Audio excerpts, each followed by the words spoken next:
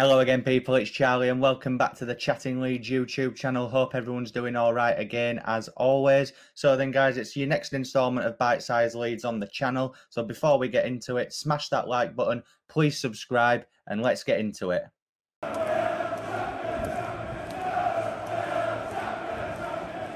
So, then, guys, first up, it's Gjanni Alioski. So, um, it is common knowledge amongst Leeds fans at the moment that, you know, Al- Alioski is yet to sign the deal that we have offered him um, in order to stay at the club.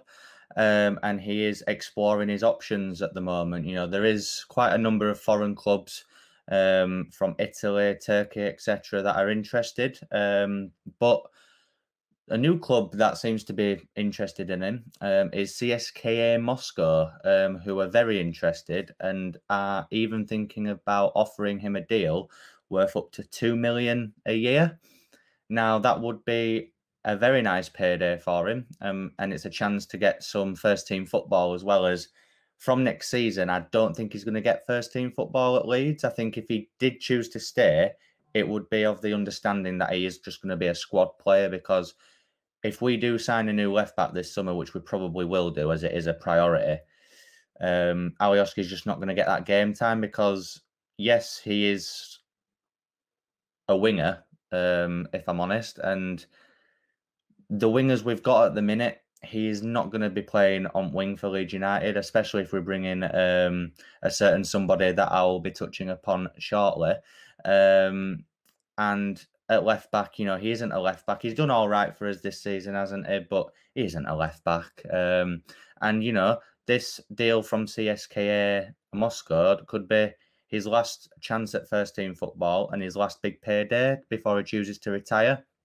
You know, I would love him to stay at Leeds, you know, because he has been sort of that cult figure for quite a few seasons now, but I can totally understand his reasoning um, for wanting to leave. Um, and if he does choose to leave, then I wish him all the best um, in his future.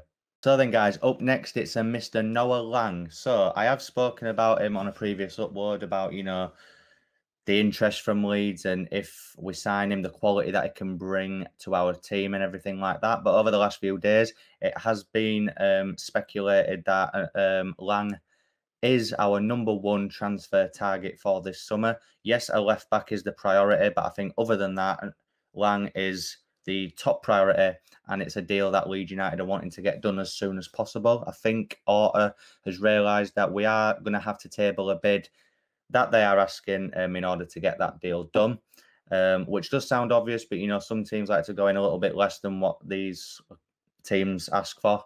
Um, but I feel like in order to get this deal done, we just need to pay them what they want and get that deal done.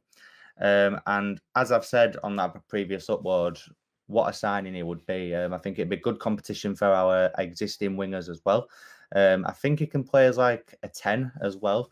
Um, but I think if we sign him, he'll probably be used as a winger. And, you know, we've got Harrison, Raphinha, Poveda, Costa at the minute. Costa, I think if we get Lang in, I think Costa will definitely go.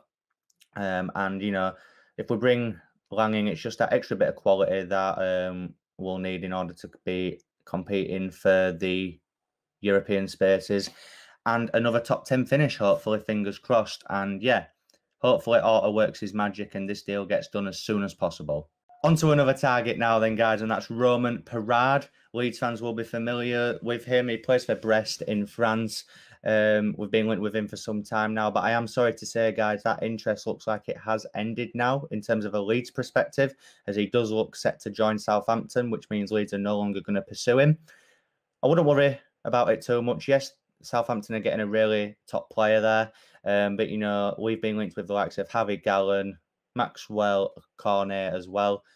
Two really good options, guys. Either one of those would be great additions for our team for next season. So hopefully we'll see one of them holding that Leeds United shirt at Elland Road as soon as possible. Finally, guys, the last bit of transfer news I've got in terms of Leeds United um, for today's video is that apparently, according to some sources that I'm seeing online, Leeds United look set to activate the release clause of Cagliari, midfielder Nahitan Nandez.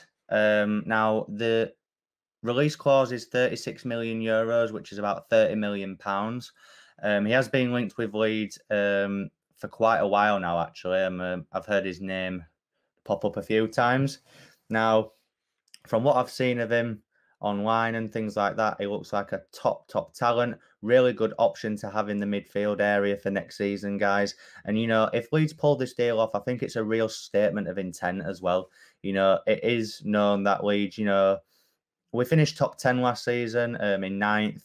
But I feel like in order to go that extra mile and hopefully push for the Europa League places and things like that, we do need to be bringing these top talents in.